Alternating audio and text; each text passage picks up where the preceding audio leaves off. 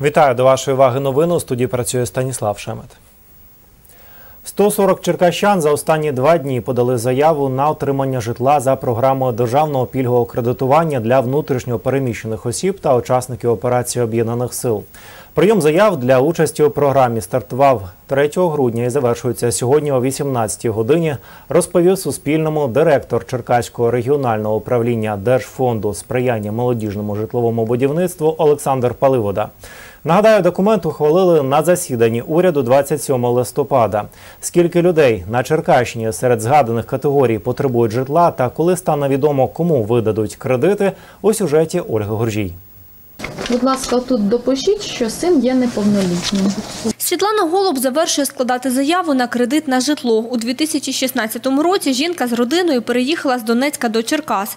За програмою пільгового кредитування хоче отримати двокімнатну квартиру. Час триває, ми вже тут три з половиною роки е, сплачуємо за орендоване майно. Чому б не отримати своє, якщо є така змога? До заяви Світлана додала підтверджувальні документи. Зібрати їх, каже, для неї було нескладно. Все реально.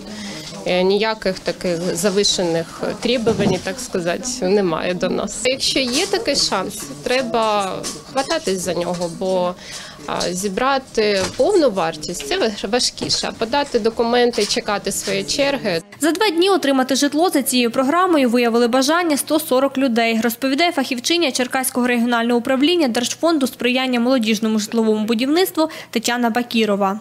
І фізично громадяни приходять, подають, і в електронному вигляді надсилають на електронну скриньку нашого сайту. Фактично наразі відбувається формування пер- певного реєстру громадян по категоріях, які могли б скористатися даним видом кредиту. Приймати заяви Тетяні Бакіровій допомагає керівник спільноти переселенців з Донецька та Сходу України Олександр Лавріненко. Він теж подав заяву для участі у програмі пільгового кредитування. За кордоном так є такі е, пільгові кредити. І це підйомна да, така сума. Це більше для тих, хто працює, хто трудоустроєн, хто платить налоги. Згідно зі змінами до закону України про держбюджет 2019 для придбання житла для внутрішньопереміщених осіб народні депутати передбачили 100 мільйонів гривень. Стільки ж для учасників антитерористичної операції та операції об'єднаних сил. За умовами програми люди мають сплачувати за кредитом 3% річних, розповідає директор Черкаського регіонального управління Держфонду сприяння молодіжному житловому будівництву Олександр Паливода. Кредит надається 94% від вартості об'єкта купівлі. Тобто це окрема квартира або будинок.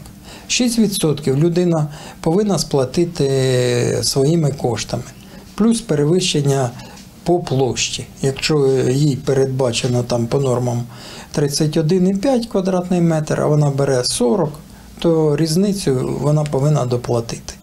Нині в області у черзі на отримання житла за державними програмами 393 особи, додає Олександр Паливода. Торік, каже, за гроші бюджету придбали 8 квартир. Скільки коштів спрямують на придбання житла за програмою пільгового кредитування для Черкащини, поки невідомо. Подані заяви опрацюють наступного тижня.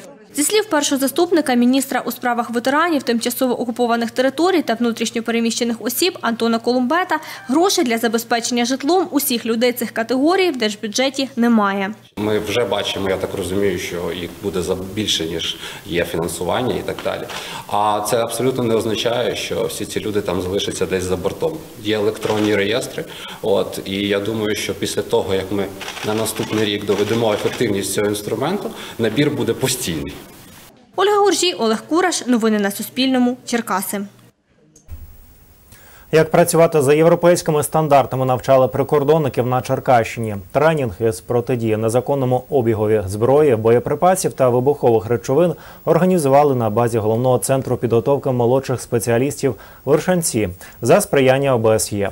Сьогодні відпрацьовували навички виявлення та затримання контрабандистів. Докладніше розповість Ольга Котляр.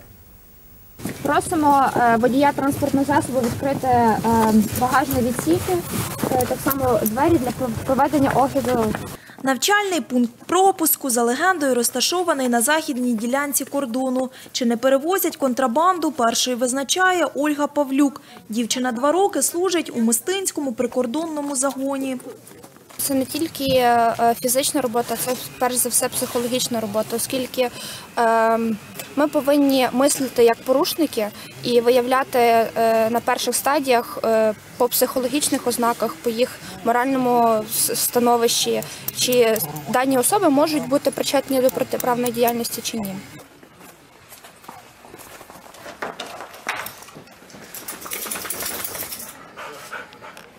Виявити набої до рушниці інспектору прикордонного контролю Михайлові Невмержицькому допомагає напарниця Джесі. У парі з лабрадором чоловік працює на північному кордоні України. Інструктор собаки е, виробляє такий рефлекс. Коли собака знаходить, вона просто сідає, не обгавкує, бо тому що може бути і боєприпаси, може бути вибухівка. Слідкує за виконанням завдань керівник кінологів Литовської прикордонної служби Жидрунас Карчаускас. Розповідає, реформували її за прикладом Фінляндії. Нині чоловік ділиться досвідом з українськими військовими. Сама граница, может, не, не была так и обозначена. Есть Сам кордон не був так визначений. Не було обладнання, за допомогою якого здійснювався б контроль. Тепер є рентгени та інші прилади, якими сканують авто. Так знайти контрабанду легше, а провести її стало складніше. Скоро так буде у всіх, тому що це безпека країни. Серед тих, хто приїхав на Черкащину переймати досвід, начальник факультету правоохоронної діяльності Національної академії Держприкордонслужби України Валерій Кухар. Каже, сьогодні з закордонними колегами ділилися хитрощами, які використовують контрабандисти в Україні для приховування незаконної зброї. використовують контрабандисти. Це саме продовжують, е, е, збільшують довжину е, кузовів автомобілів, подвійні днища роблять, значить, замасковують під, інші предмети, які фактично можуть показувати якісь предмети побутового обіходу. Обробляють їх такими е, засобами, які унеможливлюють виявлення їх саме службовими собаками. Ось і саме про це ми говорили на сьогоднішньому тренінгу, який проходить. Стартував тренінг 2 грудня. Перед тим, як розпочати практичну підготовку для учасників проекту, організували триденний лекторій. для того, щоб діяти на попередження. Е, Ми е, проводимо такі дії, тому що є досвід в світі і в Балканських країнах, і так далі. Всюди, де були озброєні конфлікти, все це, е, скажімо так, потім відбувалося такий е, рух незаконного озброєння, боєприпасів і вибухівки. Візуально з цієї сторони видно, де знаходиться імітатор зброї.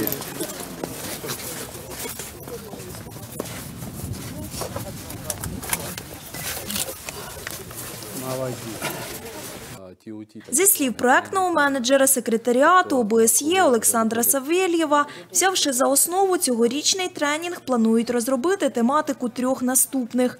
Ольга Котлер, Федір Коцаба. Новини на Суспільному. Черкащина.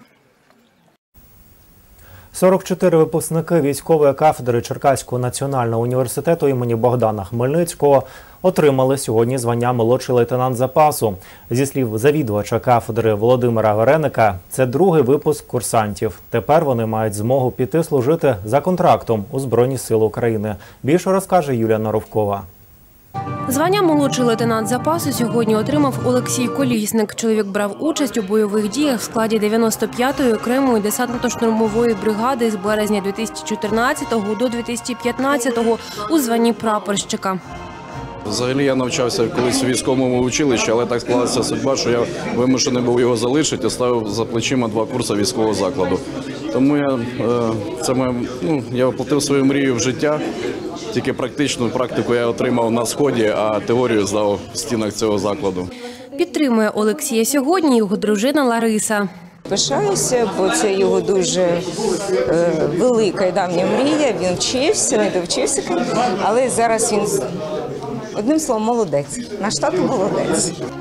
Випускниця військової кафедри Аліна Кофанова розповідає, навчатися було цікаво. Складно було перший раз в житті взяти до рук автомат. Дівчата це ті, які мають захищати хлопців тут, а і там теж. Так що без дівчат армії так також не буде. Перший випуск минулого року е, нараховував 94 особи цього року ми випускаємо 44 особи. Е, Але на наступний рік у нас буде знову ж таки збільшення випускників, е, оскільки е, багато претендентів на отримання офіцерських звань з'явилося саме цього року. Ми готуємо офіцерів протягом двох років по двох військово-облікових спеціальностях. Перша це бойове застосування військових підрозділів. Механізованих частин, і друга це військовий психолог. Якість підготовки покаже життя. Випускники, які виявлять бажання проходити службу, будуть проходити службу на відповідних посадах, де вони навчали, і потім їхні командири дадуть їм оцінку. Але підхід, підготовка, матеріальна база безумовно, що потребує дещо оновлення, сучасного, кращого, але тут націлені на добрий результат. Юлія Норохкова, Сергій Єфімов. Новини на Суспільному. Черкаси. І наразі це всі новини. До зустрічі о 19-й.